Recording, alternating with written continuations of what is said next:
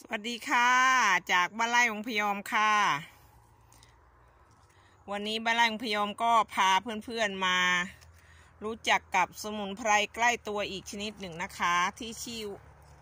ขอโทษนะคะ ที่ชื่อว่า ต้นดีปรีนะคะ เป็นสมุนไพรบำรุงธาตุนะคะบำรุงกำลัง นี่ค่ะ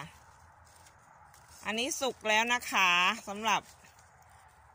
ลูกของเขานะคะ จะเรียกลูกก็ได้ จะเรียกดอกก็ได้นะคะ อันนี้สุกแล้วนะคะ นี่ค่ะ เขาจะมีเมล็ดด้วยนะคะ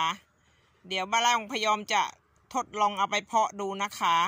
เพราะปกติแล้วจะใช้กิ่งปักช้ำนะคะ เดี๋ยวจะเก็บเอาเมล็ดของเขาไป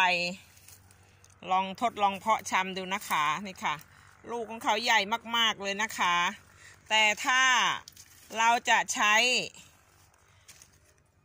ในทางสมุนไพรนะคะ เราจะไม่ได้ใช้ลูกสุกสีแดงๆแบบนี้นะคะ แต่เราจะใช้ลูกแบบนี้นะคะ นี่ค่ะ นี่คือ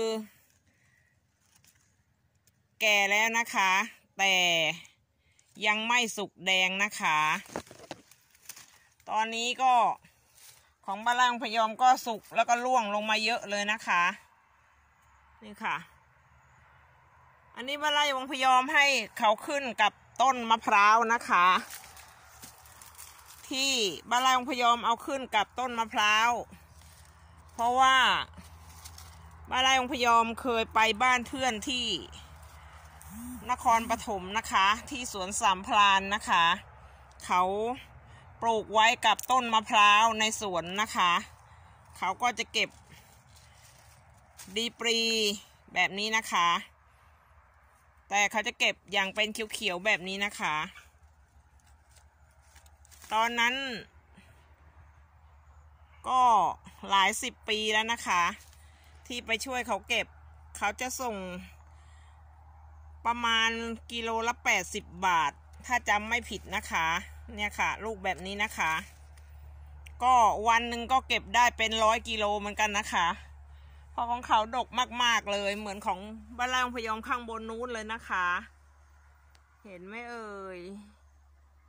นะคะ จะดกมากๆเลยนะคะ สมุนไพรดีปี เป็นสมุนไพรเก่าแก่ที่ มีความสำคัญอีกหนึ่งชนิดนะคะ มีการจดบันทึกไว้นะคะว่ามีอายุยืนยาวนานกว่า 4,000 ปีมาแล้วนะคะ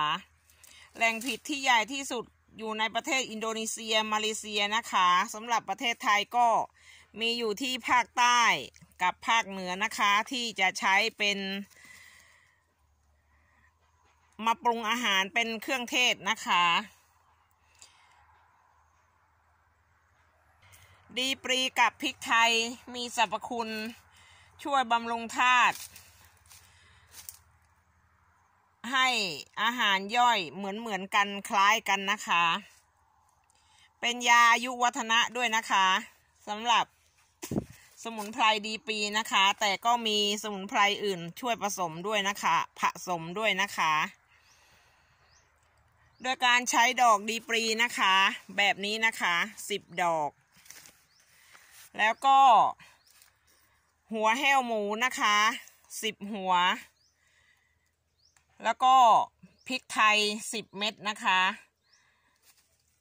ตำหรือว่าโขลกให้ละเอียดนะคะ ผสมกับน้ำผึ้งแท้